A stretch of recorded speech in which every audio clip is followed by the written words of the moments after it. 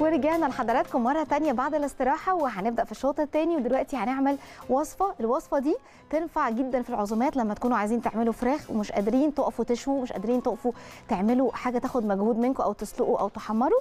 اعملوا ال- الخلطة دي حطوها على الفراخ أيا كانت العدد بتاعها. يعني الكمية اللي أنا هعملها دي تعمل أكتر من فرخة أكيد. يعني هتعمل مثلا بتاع أربع فرخات مرتاح. آه وتعملوها في صينيه وتصبوها وتدخلوها الفرن هتشموا أحلى ريحة وهتاكلوا فراخ طرية جدا مهما كانت هي كبيرة. أو ناس ما بتحبش الصدر تقول لك ساعات الصدر بتاع الفرخة بيبقى ناشف عن الجزء الأحمر في الفرخة الورك لأنه ما بيبقاش طري. دي بقى هتخليها عشان الزبادي اللي موجود في الوصفة هتخلي دايما الفراخ طرية. لو حضراتكم جيتوا تاني يوم بق- اتبقى منها فراخ وغلفتوها في كيس كده وشيلتوها في التلاجة وتيجوا تاكلوها هتحسوها زي صدور الرومي الطرية. آه، لحم الصدر ناعم جدا وجميل. تعالوا كده نقول بسم الله. هنبدأ في المقادير بتاعتنا واعتمدوها بجد وعلى ضمانتي.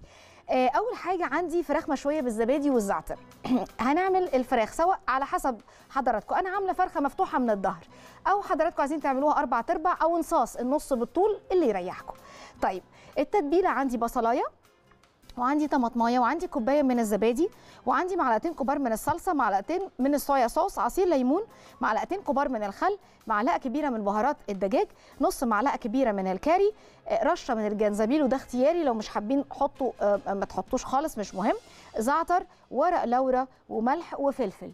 الوصفة دي لوحدها من غير الزنجبيل رائعة. أنا ليه بحط الزنجبيل بقى؟ لأنه إحنا في الطبيعي في حياتنا ما بنستخدموش كتير.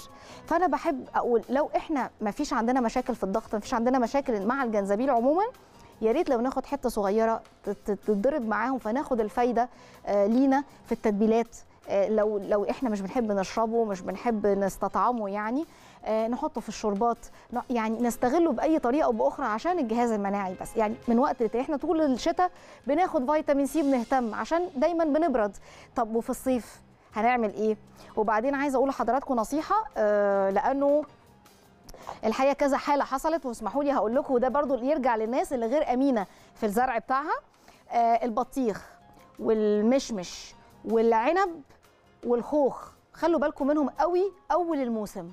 أول الموسم الفترة دي في حالات إعياء رهيبة جدا جدا جدا وأطفال بتتعب كتير جدا وكبار آه، آه، بطن بيشتكوا من بطنهم و لأنه الفترة دي بيكبروا الخوخ في ثلاث أيام. طبعا دي حاجات كلها مش مش مش طبيعية.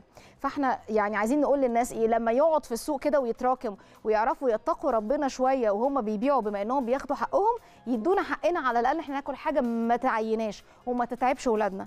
طيب خلينا بقى نعمل ال- الخلطة بتاعتنا. هاخد كده أول حاجة البصلاية والطماطماية وهروح على الخلاط. كل الحاجة هضربها في الخلاط بسهولة جدا. بسم الله. كده؟ تمام. بس انت معايا. إحنا كده قولوا لي وقتي وأنا عينيا ليكم. وقولوا لي معانا مين. بسم الله. هحط كده الزبادي. أهو. طبعا المية بتاعت الزبادي ما ترموهاش. دي البروتين اللي موجود في الزبادي. أحط اتنين ورق لورا. معانا أم جنى. أهلا وسهلا. أهلا بحضرتك. أيوه يا مدام عزيمه عاملة إيه؟ أهلا بيك يا أم جنى. ربنا يبارك فيك يا عاملة رب. إيه؟ أنت بتعملي حاجات جميلة قوي يا رب يسعد قلبك يا حبيبتي تسلميلي أنا متابعاك شرف ليا متابعتك يا حبيبتي والله كتر خيرك. لو سمحت عايزه مكرونه بشاميل. المكرونة إيه معلش؟ بشاميل ولا إيه يا بنات؟ قولوا لي المكرونة البشاميل من عيني أقول لك دلوقتي حالا عليها. عينيا. عينيا ليكي يا أم جنى هخلص الوصفة دي وهقول لك حالا. دلوقتي أنا حطيت البصلاية والطماطماية وحطيت الزبادي وحطيت رشة من ال- البهارات حطيت البهارات الفراخ يعني دي رشة من الكاري كده تدي بصوا بقى أنا حطيت الصلصة وحطيت نقطة من الكاري لو أنتوا عايزين الفرخة تطلع مصفره يبقى هتحطوا رشة من الكركم وهتقللوا الصلصة هتحطوا معلقة واحدة بس صغيرة لكن لو عايزينها تطلع شكلها محمر ولطيفة هتحطوا لها الصلصة آه، تزودوا معلقتين الصلصة بس هي دي الفكرة حطيت ال ال هحط كده بصي دي معلش عشان دي معلقة صغيرة المعلقة الصغيرة بمعيار معلقة كبيرة وأنا حاطة معلقتين أهم بالظبط. خلاص هنحط بقى عصير الليمون. أنا مبقية الزعتر آخر حاجة.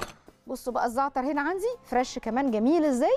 طبعا إذا تواجد fresh ما فيش مشكلة إذا ما فيش هنحط زعتر جاف ما يجراش أي حاجة. طيب هاخد رشة الملح ورشة الفلفل الأساسي. لو عايزين آه، تظبطوا قوي الملح بتاعها وفي ناس بتقول لي والله يا شيف إحنا ساعات ما بنعرفش نظبط ال- ال- الملح في الحاجة.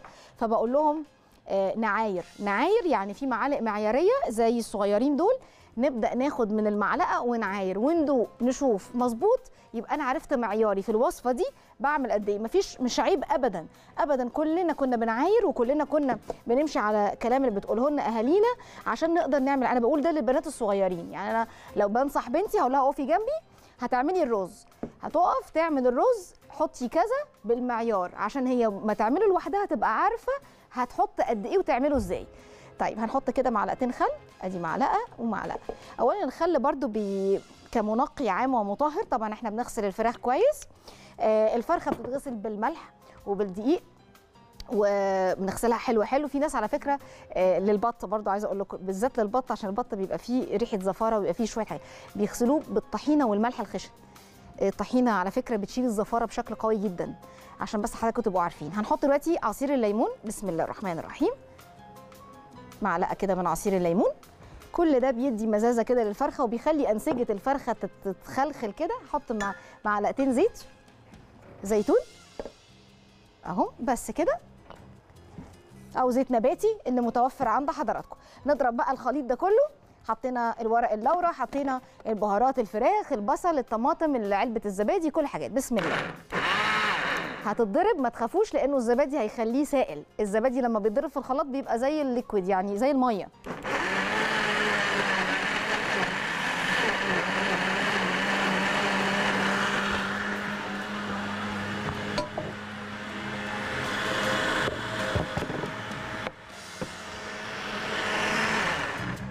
بسم الله. بصوا بقى خلطة جميلة. الخلطة دي تعمل كذا فرخ خلوا بالكم لما بتخش الفرن هقول لحضراتكم بيحصل لها إيه. أما بتخش الفرن بتطرى قوي. أنا هعمل كده الأول هنا الريحة روعة. الخلطة دي الأول سيبوها بقى دي يا سلام لو حضراتكم عاملينها من بالليل مثلا عندكم عزومة ونقعتوا الفراخ دي مثلا من بالليل. فين؟ في الخلطة دي وغطيتوها وسبتوها في التلاجة على التسوية. حطيتوها في البايركس وإيه وسبتوها على التسوية. بصوا أنا بعمل كده علشان كل الإيه الخليط وأقلب الفرخة كده. اهي هنا.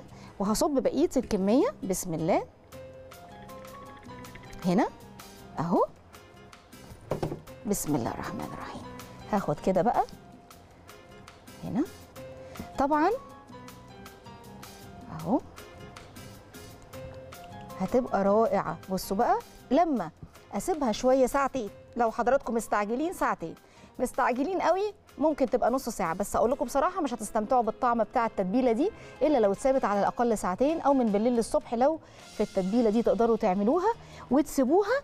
وتاني يوم تدخلوها الفرن وهي ساقعة كده في الصينية بتاعتها أو في البايركس بتاعها على الفرن على طول. الفرن هيبقى حرارة متوسطة ممكن يبقى 180 برضو على الشبكة في النص. طب هدخلها إزاي؟ لو أنا مدخلة فرخة آه واحدة أو أكتر من فرخة. طيب لازم الأول أكمرها. أكمرها يعني. بجيب كده آه ورق ال- ال- الخبز أو اللي هو ورق الزبدة يعني زي ما بيقولوا. كده أهو. وهروح الأول مكرفشة الورقة. بسم الله الرحمن الرحيم. هاخد كده. طبعا تنقوا الورق الخبز الكويس في أنواع كتير في السوق. واحد يغني عن عشر أهو. بكرفش الورقة كده. ليه بكرفشها؟ عشان ما تلزقش في الفرخة. فتلزق فيها وهي بتستوي فالجلدة تاخد الورقة دي معاها. أهو. عشان برضو أبقى عاملة مادة عازلة بين الفرخة وبين الإيه؟ وبين الورق الفويل اللي أنا هحطه فوقها لأن طبعا أي حاجة بتعدي الساعتين في الفرن. ناخد ده. بسم الله. لازم حضراتكم تفصلوا بالورق الخبز. أول ما تعدي الساعة في الفرن ساعة مش ساعتين لازم تحطوا آه، ورق خبز تحت الفويل. لو هي هتاخد أقل من الساعة مفيش مشكلة تغطوا بالفويل لأنه ما بيلحقش يتفاعل قوي. مادة القصدير دي ما بتبدأش تنزل وتتأكسد إلا بعد مرور ساعة من الحرارة العالية. طيب هاخدها بقى. ليه بكمرها؟ تكمروها عشان تستوي ايا كان وزن الفرخة أو الفرختين أو الثلاث فرخات. الصوص ده يعمل لحد ثلاث أربع فرخات مظبوط قوي. فجأة هتلاقوا إيه بعد ما بتتكمر أول آه، ربع ساعة نص ساعة مثلا أو 25 دقيقة هتلاقوها بقت خلاص وعملت صوص حواليها مية كتير جدا. عشان كده بقول لكم هتسوي أكتر من فرخة. هنبدأ نحطها تلاقوا الصوص ده نزل. هنروح رافعين الفويل ونشيل ورق الزبدة ونسيبها بقى تحت الشواية الهادية. تاخد بقى اللون وتستوي. وحتى لو ما شغلتوش الشواية هي مع الفرن هتستوي. بس لو استوت يبقى هنشغل الشواية. لو ما كانتش لسه كملت السوا يبقى هنشغل فرن بس. يلا بينا. هنروح كده للفرن. في الحالة دي هحطها على الصاج اللي تحت اللي هو اللي هو قبل الأرضية بتاعة الفرن علشان تبقى الحرارة قوية معاها والمروحة فوق بتوزع الهواء طبعا. وهنشوف دلوقتي برضو محشي البصل بتاعنا عمل إيه لكن هنستسمح حضراتكم. هنطلع ليه استراحة. هنرجع بعد الاستراحة نعمل وصفة لطيفة. أطفال وكبار بيحبوها. هي شبه بلح الشام ولكن اسمها تشورس. هي حاجة كده لطيفة بين بلح الشام ولكن مش هنحط بقى فيه شربات ولا حركات. هنعملها كده بالسكر والقرفة نعمل عليها صوص شوكولاتة. الولاد بيحبوا ياكلوها سخنة قوي. وكانت في المولات الكبيرة آه، بيعملوها بجهاز كده بيحشوا جواها شوكولاتة القابلة للدهن. تعالوا نشوف هنعملها بطريقة بسيطة إن شاء الله في البيت تعجب حضراتكم. بعد الاستراحة في انتظاركم.